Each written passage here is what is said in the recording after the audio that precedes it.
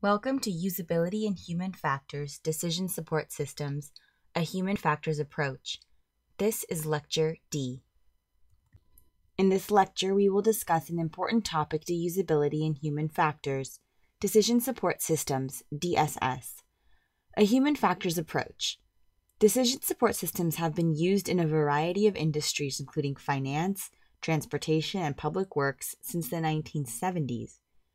It had its beginnings in health since the late 1950s, but became a more active area of research and development in the mid 1970s. With the growing penetration of clinical information systems, DSS is an effective vehicle for providing real time guidance to clinicians. DSS includes lower technology solutions such as paper based guidelines. However, we will focus on computer based clinical decision support systems, CDSS and computerized provider order entry systems. In this lecture, we will explore some of the barriers to productive use and consider some options for improving design. The objectives for this unit, Decision Support Systems, a Human Factors Approach, Lecture D, are to identify examples of usability barriers to adoption of clinical decision support. Medication alerts should not only warn prescribers about potential problems, but also provide enough information so they can be appropriately resolved. In a recent study, Russ and colleagues 2009 observed medication prescribing during routine patient care and identified 15 barriers associated with medication alerts. The next two slides describe 11 such barriers. Some of the barriers have to do with interface issues, such as problems associated with the display of an alert. An alert may not provide adequate information as to why it was triggered. Some alerts may not be evidence based or do not provide a reference to the evidence. Decisions often involve trade offs, and some alerts fail to specify the relative risk of patient harm. Alerts can be repeated over the course of an interaction, and clinicians invariably become annoyed by such system behavior. If alerts appear too frequently, they can lead to information overload and prescriber desensitization, thereby increasing the potential for missing key alerts. One complaint about alerting systems is the failure to distinguish between serious problems and less harmful ones. For example, the difference between a genuine allergy and drug sensitivity is often clinically important in making medication choices. Allergies can be very serious, whereas sensitivities are not typically serious. Decision support systems may seem non intuitive and even perplexing to the user.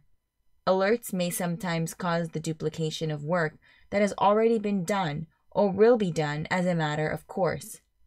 Alert systems may not adequately reveal their capabilities, limitations to the prescriber. Therefore, the full functionality of the alert system becomes ambiguous. This can increase the level of distrust and perhaps lead to anti automation bias. In the system evaluated by Russ and colleagues, they found that poor screen display was evidenced by poorly presented alert text. The haphazard grouping of multiple alerts in a single pop up window and the need for scrolling to see a series of alerts. Inadequate alert specification occurred when alerts did not show all clinically relevant information needed for decision making. We already talked about the unclear level of risk for a given alert and whether it overrides other factors that were part of the original decision strategy. For example, should a clinician discontinue an effective medication because the patient shows evidence of drug sensitivity. That is clearly a difficult decision to make. Ash and colleagues investigated unintended consequences of clinical decision support systems and found several problems related to presentation of data on the screen. One issue was that the systems were rigid or inflexible, requiring input and in a specific format, or could not be displayed in a certain sort order. Alert fatigue is a term commonly used for too many alerts, and Ash et al. found that this occurred more often than any other aspect of clinical decision support systems. We will now briefly consider two important constructs used in human factors in decision making research situation awareness and mental workload. Clinical decision support systems variably support situation awareness and impose varying levels of mental workload. It has been well established in human factors research that poor situation awareness and high mental workload can impair memory, problem identification, and decision making. Situation awareness is a construct used in contemporary decision research to characterize an awareness of what is happening around you with an understanding of what that means to you now and in the future. Situation awareness is a product of expertise and experience. Poor situation awareness can lead to impaired decision making. Situation awareness can be characterized according to three levels perception of elements in the environment, cues, stimuli from patient pulse, color, weight change, chart, EHR, nurse, comprehension of the meaning of those elements by integrating the disparate pieces of information and determining what is salient, and projection of future status so that decisions can be made. As information management problems increase, mental workload increases. Time pressure makes it more important that clinical decision support automation be easy to use and useful. When you are under time pressure, you have less time and patience to navigate through poorly designed technology. Under time pressure, humans can adapt and still perform reasonably well by exerting more mental effort or by concentrating harder. However, under more significant mental workload, individuals can no longer adapt or compensate in order to maintain cognitive performance. Every human has a threshold where decision making becomes impaired because of impossibly high mental workload conditions. Demands imposed by the system, e.g., clinician needing to remember the important facts of the most recent patient visit while starting the next patient's visit, can readily exceed the attentional resources or mental capacity of the person. This condition is ripe for medical error and compromises patient safety. We know ways to build a better machine and to make it usable by clinicians. Khajouei and Jaspers offer some design recommendations. Interfaces must explicitly map to workflow patterns of clinicians. CDSS systems must support, rather than impede, clinical workflows through speedy, available, and usable algorithms that provide parsimonious, clear, concise, and actionable warnings and advice. There should be clues or cues in the interface to optimally support users in medication ordering. They recommend that a clinician should not have to negotiate more than three screens to respond to an alert. They also characterize the ways in which the display can be better organized and the alert displayed more prominently on the screen. Karsh also proposes a set of general guidelines to improve clinical information systems and the use of CDSS by designing for better workflow. Clinical systems should help clinicians see the right amount of the right type of data wherever and whenever needed. It is often tricky to determine the right amount. If too much information is available on a given screen or display, it leads to clutter and confusion in finding important information. On the other hand, the alternative is to have the user negotiate additional layers of screens to find the information they need. Clinical information should be accessible in the shortest possible amount of time.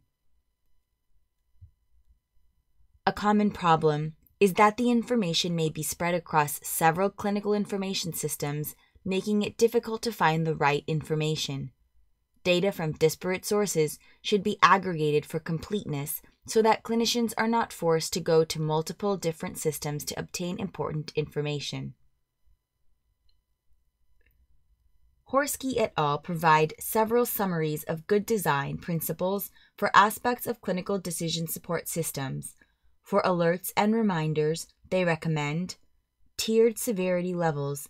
Synchronous interruptive alerts should be reserved only for high severity warnings of 2 to 3 levels. Concise text justification. Content should be limited to one to two lines with a justification separated by white space. Clear response options.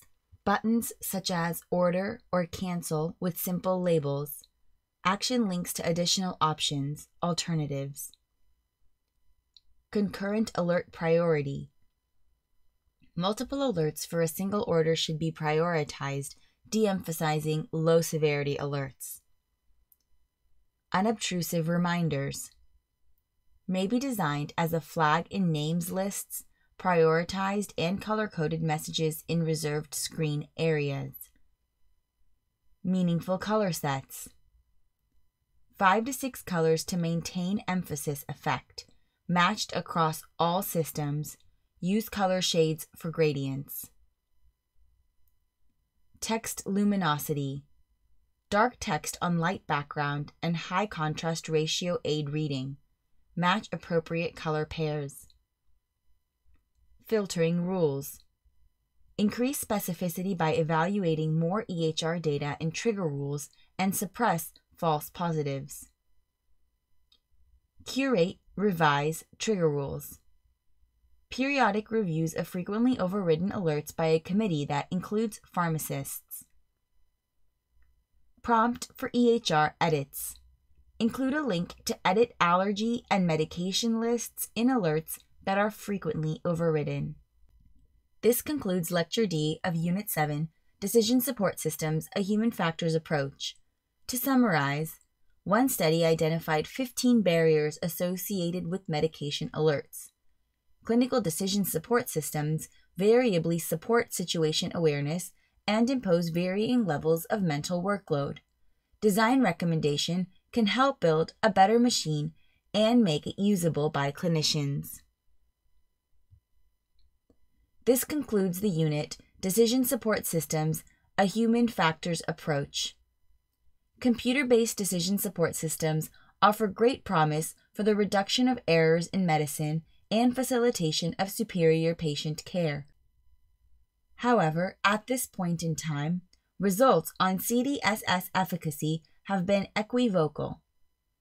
CDSS can lead to new types of errors which present something of a daunting but not insurmountable problem. Adherence to usability human factors principles can lead to superior design and enhanced performance.